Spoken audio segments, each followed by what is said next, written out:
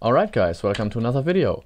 Um, this time Ismael Birje requested a video about the libgdx pixmap.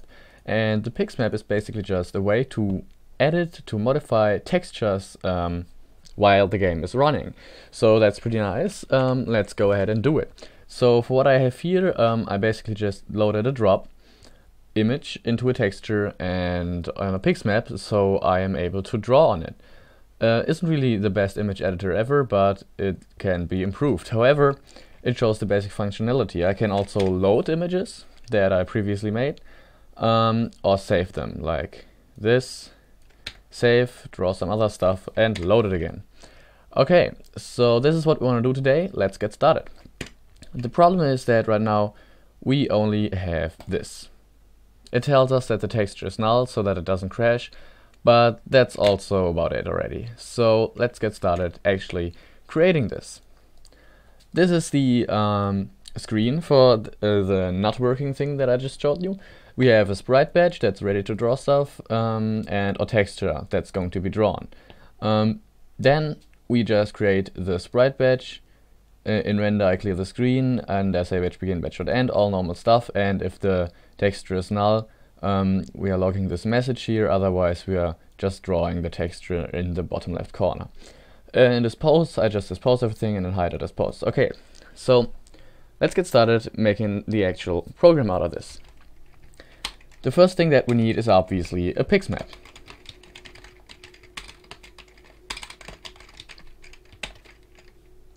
Now we have multiple options how to create such a pixmap. Uh, we can load in Pixmap from an existing from an existing image, or we can create our own one. Let's actually do both. So let's first say Pixmap equals new Pixmap. And there we go with all the constructors. The first one is the file handle. The second one takes a GDX2D pixmap, which you probably don't want to do because, well, it's basically the underlying pixmap in the pixmap. Um, then you can give it a byte array of the data encoded, but that's a very unlikely use case. And finally, the easiest one to create a new one, giving it the width, height, and the pixel format. Um, we are just going to load something that we already have, so let's say gdx.files.internal assets.drop. So assets.drop is just a string. Um, okay, then it's basically it for now because it crashes every second of course. Um, we have the pixmap loaded already but if we create such a pixmap we should also dispose it. So let's go in here in the dispose method say pixmap dispose pretty important otherwise you'll get pretty bad memory leaks. Um, we loaded the pixmap but the pixmap is not yet on the texture the texture is still null so how to get this pixmap on the texture? Um, pretty easy actually, just texture equals new texture and we give it the pixmap. And that's about it. We can already view this. Let's see, yeah, that's the drop. We could also have just have loaded the texture immediately, but we decided to, well, create it from the text from the pixmap. Um, now let's get the basic editing in because we want to edit this um, image. Uh, for this we're going to extend the input adapter so we can override some methods. And most importantly say gdx.input.setInputProcessor to this. And now let's override some methods. Let's override the touch dragged method Inside here we are going to, well, modify our, our pixmap. We are going to draw on it. And for this the pixmap has a few basic drawing functions. At first we can set the color. So let's set the color to color dot cyan. Oh no, the, the drop is already like cyan. Let's say color dot green. Yeah, why not? Color dot green. Um, then the Pixmap has all sorts of drawing functions. So what we have here, we have draw circle, which draws the outline of a circle. We have draw line, draw pixel, um, and draw another Pixmap onto the Pixmap. We can draw rectangles, um, we can fill the pixmap with the currently set color, but we don't want to do that because that would just simply override all of the image that we just put in the pixmap, loaded the pixmap from. Um, and we have the same methods with fill. So fill circle, fill a rectangle, and fill triangle. Uh, we don't have all of them. I mean, fill line makes no sense, but we don't have a draw triangle, for example. Maybe that's going to be added later, but for now we just have fill triangle. Whatever, um, let's go ahead and actually choose one of those. So we want to fill a circle. And we want to fill a circle from, uh, yeah, basically where the touch has been dragged to. So let's say screen X, screen Y, and the radius of 5. Note that this is not really correct because a pixmap um, has its own text, uh, its own coordinate system, and that goes from the top left to the bottom right, like the normal screen coordinates as well. But the touch drag, oh yeah, the touch drag actually does the same. But have a look at this this um, image here again. The drop is actually bigger, as you can see here. Uh, if I just reload this, the drop actually goes up to here and the image was just like down to there. So the image would have to have the exact same height as the drop, um, which would be like this in order to function properly. But we have to kind of subtract some stuff to get the correct coordinates. So depending on how you implement this in your game, you're going to have to do this differently.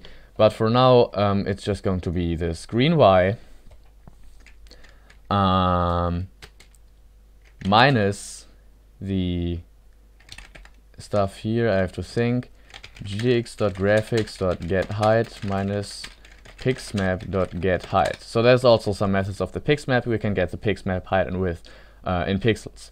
Let's hope that this is correct. Restart.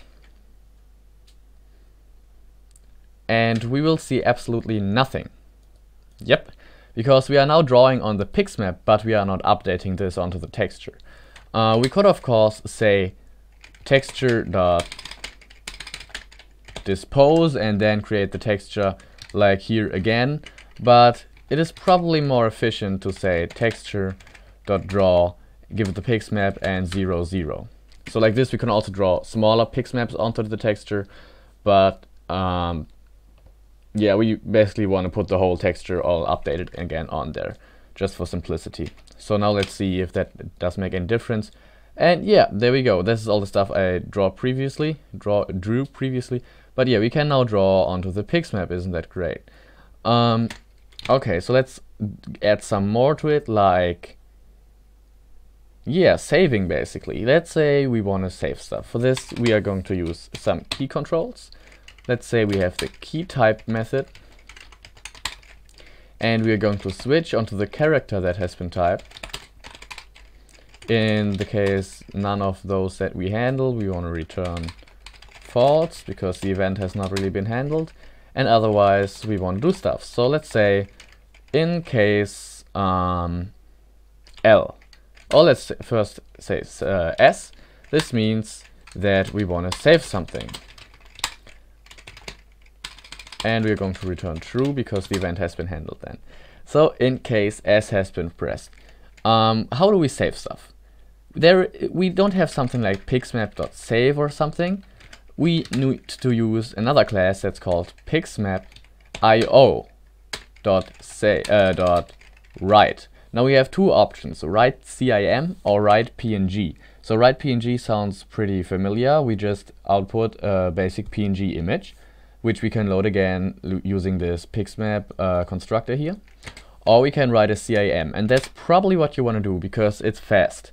Um, CIM is a file format that just exists in libgdx, and well, currently, um, and is basically for save writing and reading. So, for example, if you develop an Android game and the user presses the home button, um, the textures are all being lost and being restored once you uh, once the user opens up the app again. That has that stuff that has to do with the OpenGL context and and stuff like that. So if you have a texture that relies on this pixmap, you probably quickly want to save it and quickly want to open it up again. It doesn't have to be super compressed or whatever. That's what the PNG would be for. So this takes a file handle. Let's call that file and the pixmap. Um, let's create this file handle up here. And we cannot use the internal file because internal files are read only. You can only read from them. So I'm going to use local.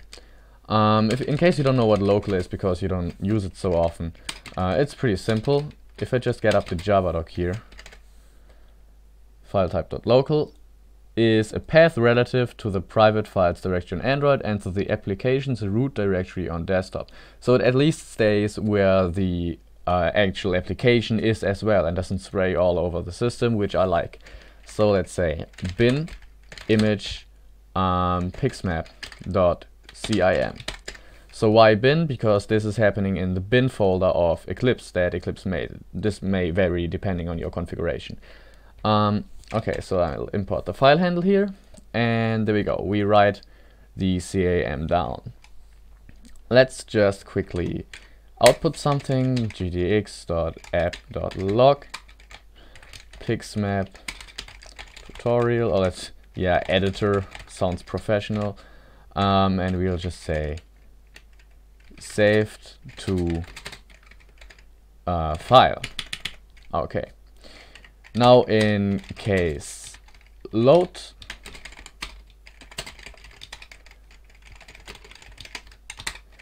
we want to use the pixmap IO again, but this time we have to load to the actual pixmap.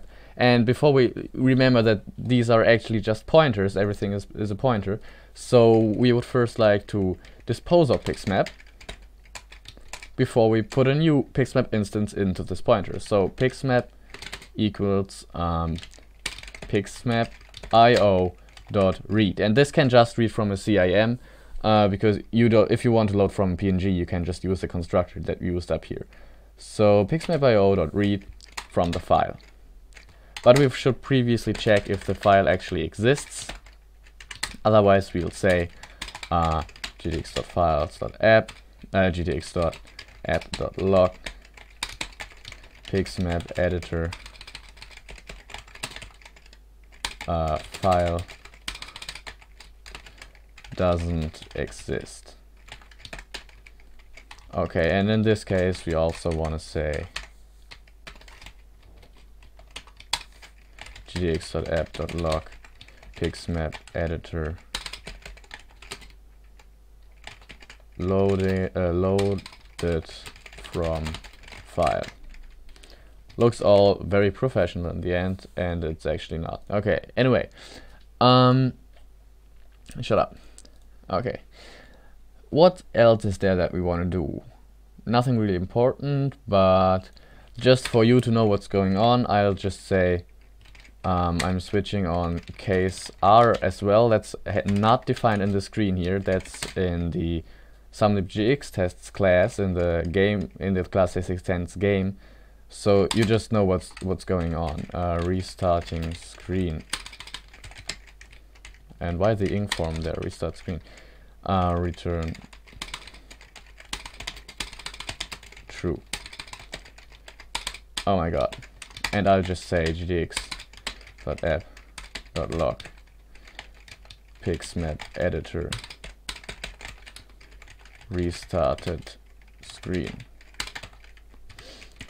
Okay, so that's it for the key type method. I hope this all makes sense to you. Uh, let's see if it works. Well, we can we can not really check if it works because we are oh we are able to draw. Yeah, we are able to draw it. I don't know what's going on in my brain, but we are able to draw. That's great. So we are able to check this stuff here. Let's go into the main class, start this up. And if I press R, it says restarted screen, okay? And if I press L, it says loaded from. And what is it? It actually exists. Oh, that's nice. It, it actually existed. Uh, probably from a previous test. Otherwise, we can draw something on it. Oh, yeah, I'm sorry. This is from a previous test. And um, we forgot one thing. If we load, we actually create the pix map, but we don't uh, say texture dot uh, draw pixmap at 0 0 so that's why it didn't just appear uh, immediately. So if we do this and now I load we actually see the image that I drew previously. Now we can I don't know this guy didn't brush his teeth in a while so he has some problems with the bacteria here. Oh that looks bad that looks really bad. You should go to the doctor. And now we save this. I pressed S so save to bin oh, come on. Save to bin image pixmap.cim and now I draw some other stuff or even restart the whole screen and even draw some other stuff and L loads it from the CIM file again. Um, that's pretty nice in my opinion and um, yeah, why not? in the end, let's just say we want, oh no, that would basically make no sense if we delete the file. Because we can also close the app down, the file is still on the file system um, and the next time you, you, the user opens up the app, he can go there and load it again. So that's something great. You could, for example, let the user um, draw in a minimalistic editor, uh, draw his own character face or something like this great guy here. Uh, what else can we do with the PixMap? I think that's basically about it.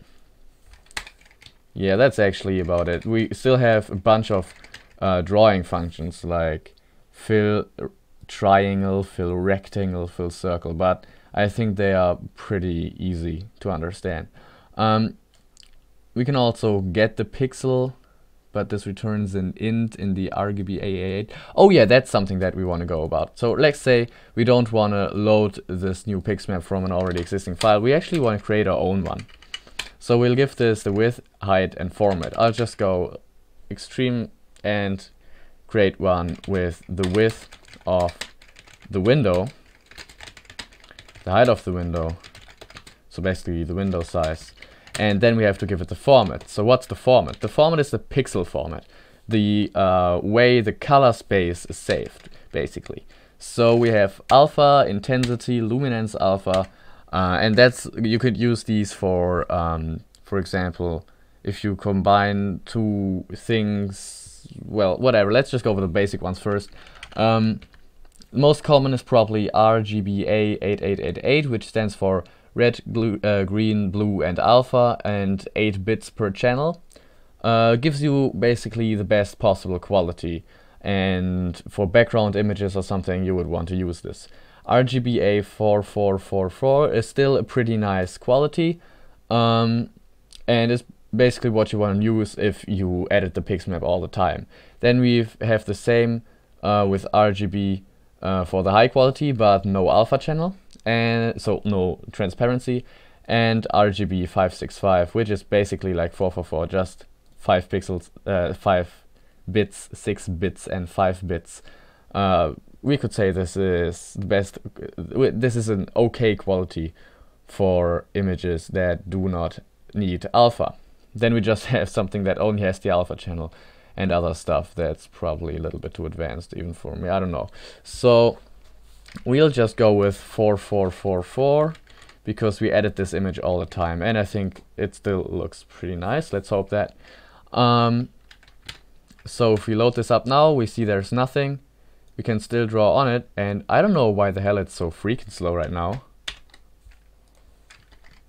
Didn't I just say the 4444 would be faster? Uh, that's the wrong, that's the wrong thing. So we want to start this up and hope that it's not so ridiculously slow. Yeah, it actually is so ridiculously slow. I have no idea why. When I chose 8888, it was fast. Okay. Well, you'll find out yourself what's fast and what's not. Uh, probably because it it usually handles the 8-bit RGBs, whatever. Um, okay, so uh, that's it. Um, you can draw, load, save your own stuff. Uh, absolutely great. Uh, you could, for example, use this if your car collides with something. You can draw the damage onto the yeah onto the image, onto the texture. Uh, like I said, let the user draw his own characters, anything uh, great possibilities you have there. So have fun with the pix maps, uh, make sure to dispose, and yeah, I hope you liked this video. I'll see you next time. Goodbye.